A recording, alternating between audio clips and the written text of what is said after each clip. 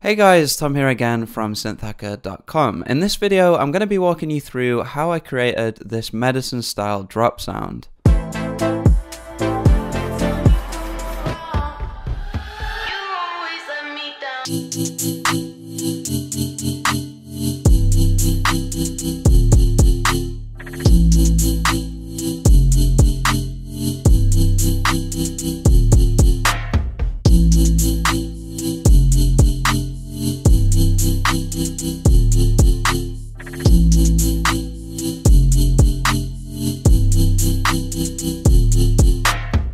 If you want to grab the Chord MIDI to follow along with this tutorial, there's a free download link to all of my tutorial MIDI files in the description below. So this sound is made up of a melodic square wave layer and a noise layer. These have been grouped together and put through quite a bit of processing.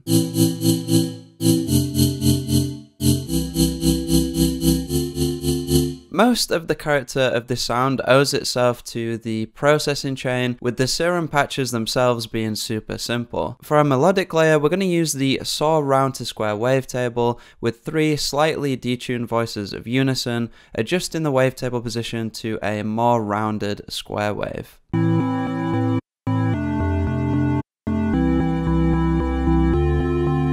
For a more consistent, uniform sound, we're also going to bring down the random and phase parameters to zero so that the waveform triggers from the same point every time.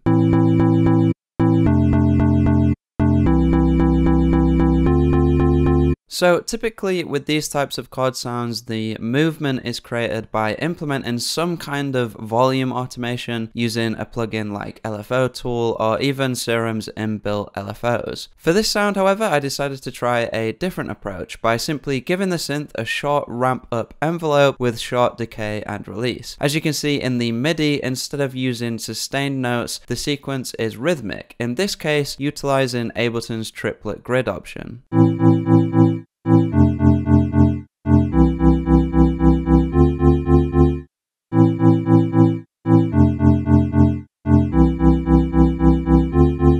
To sculpt this sound further, I used a low-pass 18 dB filter with no resonance, helping to create space in the frequency range for our noise layer. One trick I do like to use sometimes, however, is to slightly bring down the mix amount to add some high-end air to the synth, which will be much more noticeable when we implement our processing chain later on.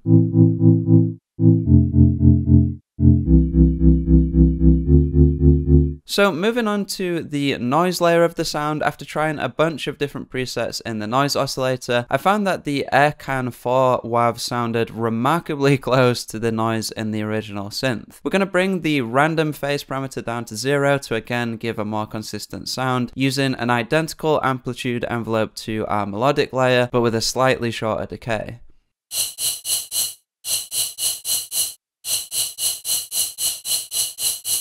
It's also worth mentioning we're using the exact same chord MIDI to trigger this layer with Serum set to mono to make sure we're only hearing one voice. The only processing on this noise layer is a subtle amount of RC20, mainly just to give it a slightly less harsh character.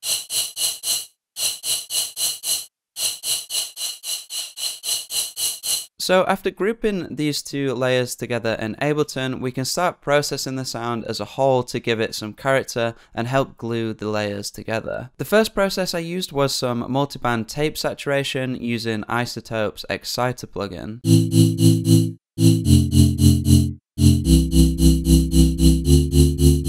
Any saturation plugin works here, although I tried to stick to options that give you multiband control as to only saturate the mid and high frequencies. Next, I used an EQ to roll off some of the low frequency content, carving room for the 808, and also attenuating some of the low mid muddy frequencies.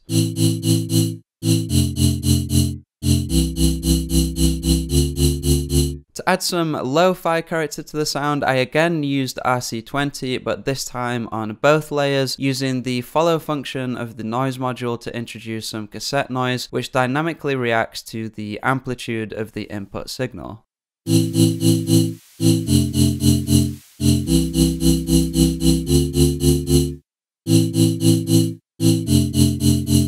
also tweaked the EQ shelf at the bottom to create a brighter overall tone, as well as slightly increasing the stereo width parameter for a wider sound.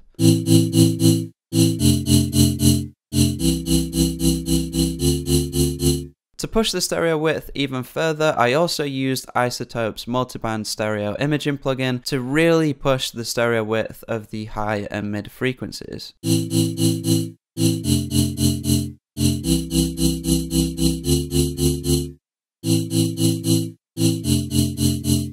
At this point in the sound, although I was fairly happy with the tonal character and presence, I found that it was lacking a sense of space and physicality. The issue, however, was that adding too much reverb to the sound would result in the sound feeling like it was being pushed back in the mix, which for such a core part of the track would not work that well. The solution for this was to use an audio effect rack to split the signal into two chains, the original dry signal and then the same sound put through a reverb at 100% wet.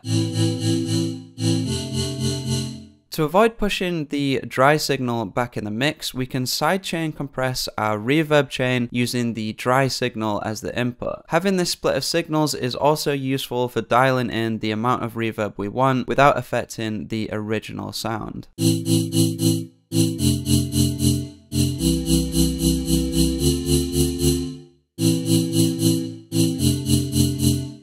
Whenever layering sounds, I generally like to use Ableton's glue compressor to create a more cohesive sound. Bringing down the threshold and bringing up the makeup gain helps bring out the finer details of both layers while making the sound more uniform overall.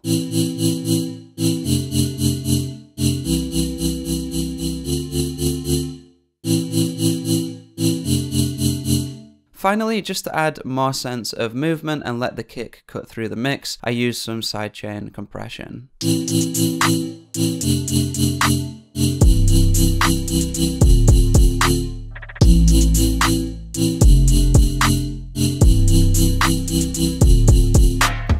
So when you're working on a sound like this one and you get it to a point you're happy with, often it's a good idea to bounce to audio and think about how you can make the sound more interesting over time. Working with audio opens up a world of possibilities for sound design. However, for this sound, I found that simply chopping some of the individual chord hits and reversing them really helped to add a sense of momentum to the track.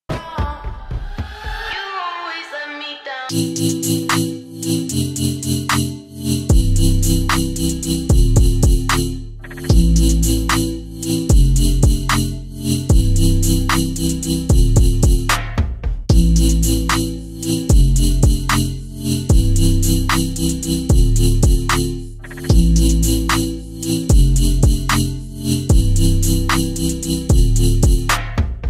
you wanted to, you could even go a step further and bounce just the reverb chain of the sound and sequence that alongside the dry signal. A lot of the time, it's these little bits of attention to detail that can really take your sounds to the next level. So that pretty much covers everything. I hope you got something out of this video. Again, if you want to grab all of my tutorial MIDI files, including this one, check out the free download link in the description below. The presets in this video are also included with all my other tutorial presets in every pack over at synthhacker.com. It's worth mentioning I'm also currently working on a new sample pack I'm really excited to release very soon, along with a bunch of tutorials to go with it, so if you want to be notified when those are uploaded, be sure to subscribe and click the notification bell. Thanks a lot for watching guys, and I'll see you in the next video.